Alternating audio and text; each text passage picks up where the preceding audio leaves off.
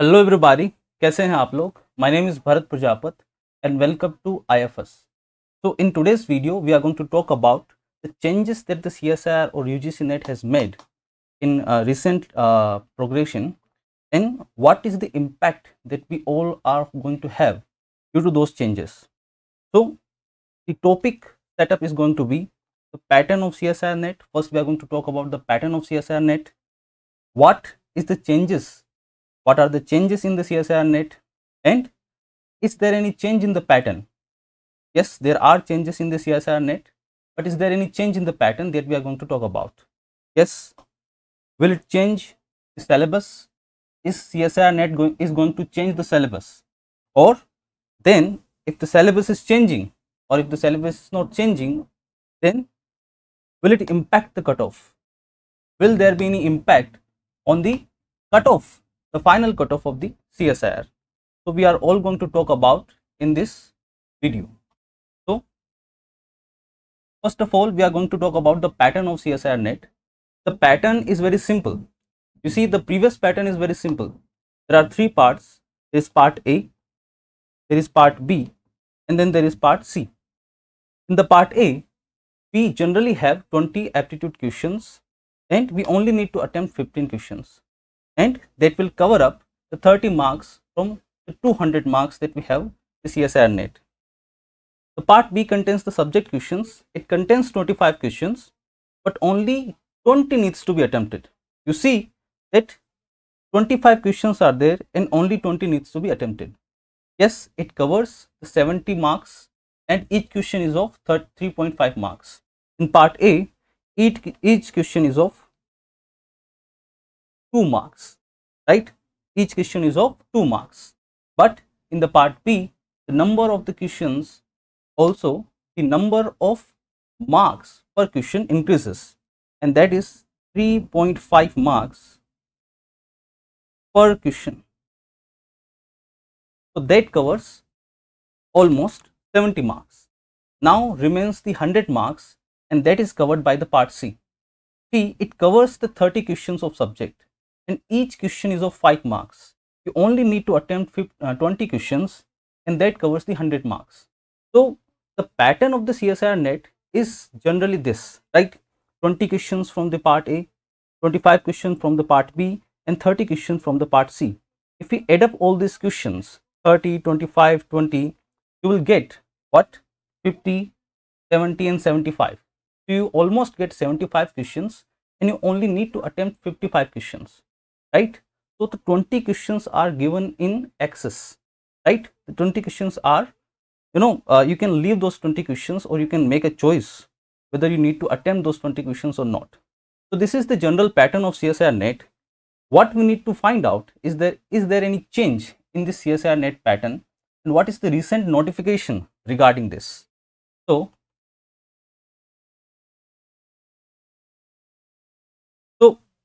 these are the changes that recently the UGC chairman, the UGC chairman is Jagdish Kumar, UGC chairman is Jagdish Kumar has met. He has said that from the academic session 2024-25, all universities can use net score for admission to PhD program in place of the entrance exam. तो पहले PhD के लिए different different universities अलग अलग exam conduct करती थी अब उनको अलग अलग एग्ज़ाम कंडक्ट करने की कोई ज़रूरत नहीं है अब वो सीधा अपना नेट का जो स्कोर है, जो जीआरएफ का स्कोर है या फिर जो सी एस नेट का एग्ज़ाम है, उसके थ्रू ही हम क्या कर सकते हैं? अब पीएचडी में एंट्रेंस ले सकते हैं। तो हुआ ये है कि पहले हमारे पास जब हम नेट देने जाते थे तो हमारे पास दो ऑप्शंस होते थे। जब आप फॉर्म फिलअप करोगे तो आपके पास दो ऑप्शन आएँगे। एक आएगा आपके पास सी नेट का और दूसरा आएगा आपके पास जी का राइट आपके पास दो ऑप्शन होते थे, एक जी का और एक सी नेट का। अब क्या होगा कि आपके पास एक तीसरा ऑप्शन भी अवेलेबल रहेगा। और वो तीसरा ऑप्शन क्या रहेगा? वो तीसरा ऑप्शन रहेगा only for the P H PhD listen that NTA is working on launching the NET application process from June 2024 session time next week ये इंफॉर्मेशन भी इन्होंने दी है कि जो फॉर्म आने वाले हैं सी एस आर नेट के या फिर यूजीसी नेट के, वो फॉर्म नेक्स्ट वीक से शुरू होने वाले हैं। ये जो डेट है, जिस डेट पे इसको पब्लिश किया गया है 27 अराउंड 28 मार्च, उसके बाद में नेक्स्ट वीक मतलब अप्रैल, और अप्रैल मतलब टूडेज टाइम और आज का जो समय है, या फिर इस वीक का जो समय है, या फिर अगले वीक का जो समय है, उस दौरान आपको क्या होगा, आपको नोटिफिकेशन मिल जाएगा नेट का। सो प्रिपेयर रहिए जून सेशन के लिए आप प्रिपेयर हो जाइए। राइट राइट नाउ अब आप देखिए कि इस नोटिफिकेशन में ये लिखा गया है कि अब नेट की तीन कैटेगरीज होगी। Category first category second and category third. Category first में क्या लिखा गया है? कैटेगरी फ़र्स्ट में लिखा गया है कि अब क्या होगा कि नेट तीन कैटेगरीज में है और कैटेगरी फ़र्स्ट में लिखा गया है कि पहली कैटेगरी में आप जीआरएफ के लिए अप्लाई कर सकते हो। पहली कैटेगरी में आप जीआरएफ के लिए अप्लाई कर सकते हो। दूसरी कैटेगरी में आप नेट के लिए ओनली नेट के लिए अप्लाई कर सकते हो। और तीसरी कैटेगरी में आप सिर्फ़ और सिर्फ़ पीएचडी के लिए अप्लाई कर सकते हो।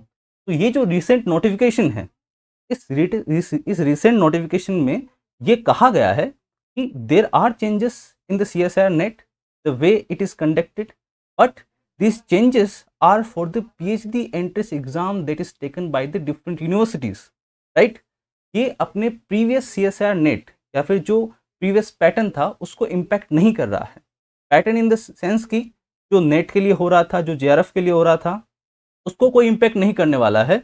बस अब यहाँ पर एक और टास्क ऐड कर दिया गया है कि जो एंट्रेंस एग्ज़ाम अलग अलग यूनिवर्सिटीज़ के लिए पीएचडी के लिए हो रहे थे, उनमें अब C S R NET valid होगा। उनके लिए अपन को अलग अलग टेस्ट नहीं लेने पड़ेंगे। उसके लिए अब सीधा सी एस आर नेट से काम हो जाएगा। तो आप ये भी बोल सकते हो, सर, पहले भी तो ऐसा ही हो रहा था। बिल्कुल बिल्कुल, पहले भी ऐसा ही हो रहा था। पहले भी जिसके पास सी एस आर नेट था, जिसके पास जेआरएफ था, उसको प्रेफरेंस दिया जाता था अदर अदर कैंडिडेट्स के ऊपर। लेकिन अब क्या होगा? कि यूनिवर्सिटीज़ अब अलग अलग टेस्ट नहीं ले पाएगी। यूनिवर्सिटीज़ के पास अब क्या होगा? एक सेंट्रलाइज सिस्टम होगा, जिसके थ्रू वो क्या कर सकते हैं कि सिलेक्शन प्रोसेस पीएचडी के लिए कर सकते हैं। नाउ ये जो नोटिफिकेशन आया है, उसमें आगे प्रोसीडिंग में ये दिया गया है कि आपके पास भले ही तीन कैटेगरी है, लेकिन इन तीन कैटेगरी में कौन कौन सा कब कब एलिजिबल होगा? तो पहले जब अपन देखते थे सी नेट के पैटर्न में कि जिस बंदे का जी हो गया है, उसको नेट अप्लाई करने की कोई ज़रूरत नहीं है, उसका अपने आप ही नेट हो गया है। उसी तरह से अब भी जी क्या है? सबसे ऊपर की कैटेगरी में है। सबसे ऊपर क्या है अभी भी? जी है। उसके नीचे कैटेगरी टू में क्या है? नेट है। और उसके नीचे कैटेगरी थ्री में क्या है? पीएचडी है। रिमेंबर जिसका जेआरएफ हो चुका है, देखिए, अगर जिसका जेआरएफ हो चुका है वो असिस्टेंट प्रोफेसर के लिए भी एलिजिबल होगा और पीएचडी एडमिशन के लिए भी एलिजिबल होगा।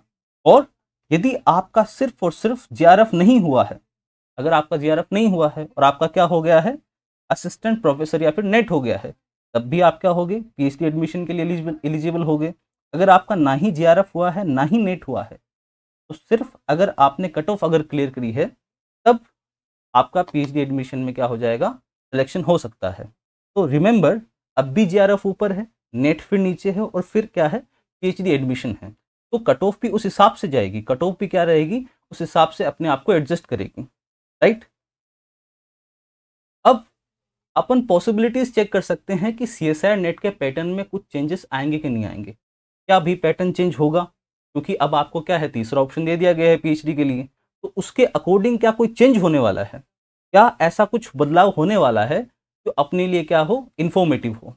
तो एज ऑफ़ नाउ इतनी इंफॉर्मेशन हमारे पास है कि according to the new changes there is slight chance of pattern change हो सकता है कि हल्का सा पैटर्न चेंज हो जाए लेकिन ये पैटर्न इस तरह से चेंज नहीं होगा कि क्वेश्चंस में आ, जो है वो आगे पीछे हो जाए।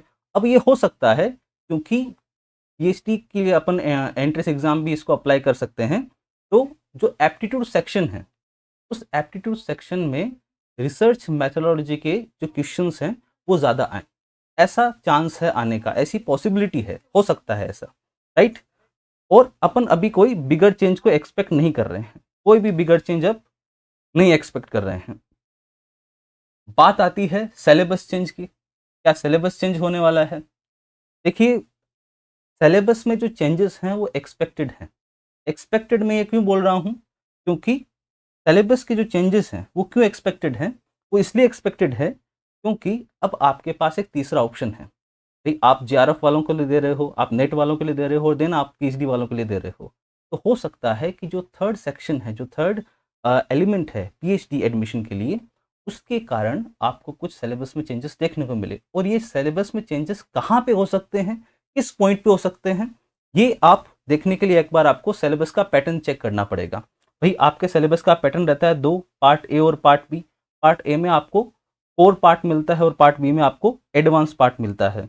अब जो कोर पार्ट है एक्सपेक्टेशन तो यही है कि भाई, अगर अपन कॉमन सेंस भी यूज़ करें तो एक्सपेक्टेशन यही रहेगी कि कोर पार्ट तो सेम रहना चाहिए।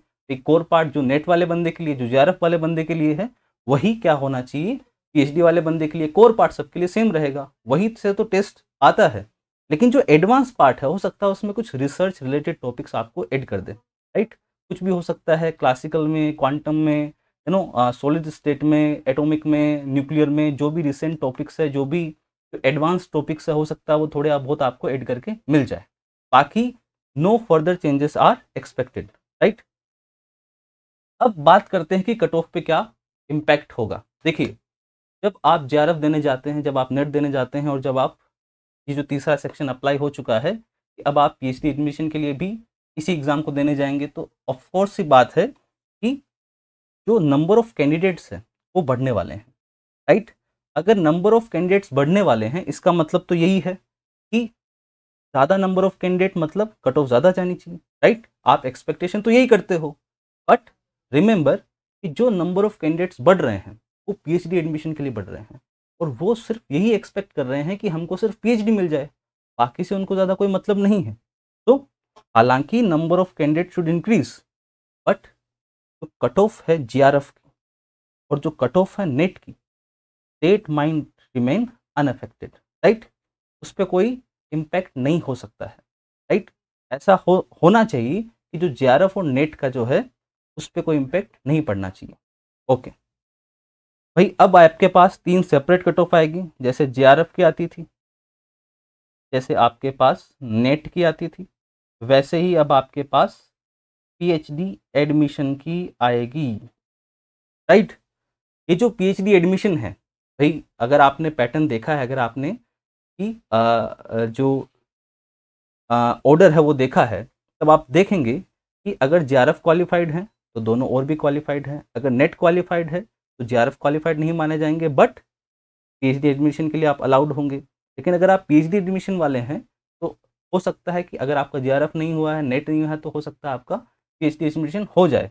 तो इस तरह से आप एज्यूम कर सकते हैं कि जो पीएचडी एडमिशन की कट ऑफ़ जाएगी, वो एक्चुअली में बहुत कम जाने वाली है राइट हो सकता है कि वो नेट के इक्वल चली जाए, और हो सकता है कि वो नेट से कम चली जाए बिलो और इक्वल टू लेकिन कुछ ना कुछ तो मिनिमम कट ऑफ़ होगी पीएचडी एडमिशन के लिए।